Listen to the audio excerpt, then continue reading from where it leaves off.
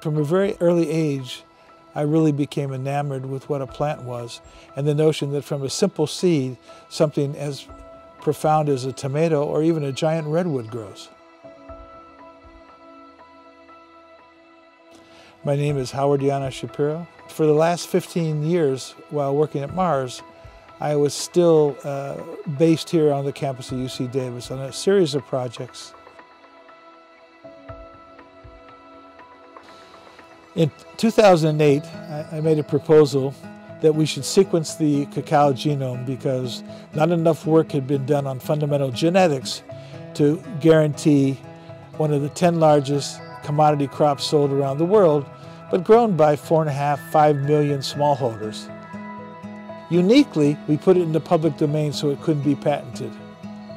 And it was used, we released it at 7 o'clock in the morning, and it 701 it was used for the first time in Africa and it's been a directional tool that makes breeding for the future possible in a way that it wasn't before. So the idea that a plant can make its own nitrogen has been one of the holy grails of agriculture. Well, when we look at some of the giant breakthroughs in the 60s, probably the standout piece was the Green Revolution which was Norman Borlaug and M.S. Swaminathan in India.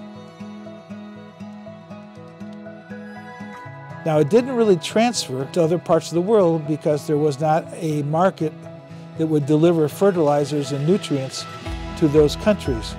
The real issue is why didn't people improve on the system and continuously make improvements year by year? We hope to jump that over with nitrogen fixation in plants.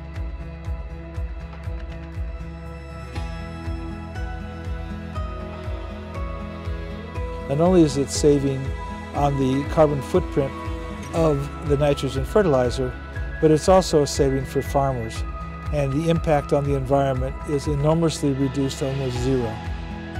Well, having worked in and around agriculture for more than 50 years, I've seen the change in how we produce our food over that time. And we're now in a renaissance.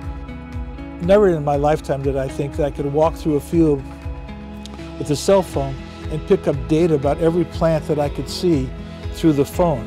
Now that's happening. That gives us data about yield, it gives us data about the condition of the plant in the field, whether they need nutrients, whether they're short on water, all these kinds of considerations.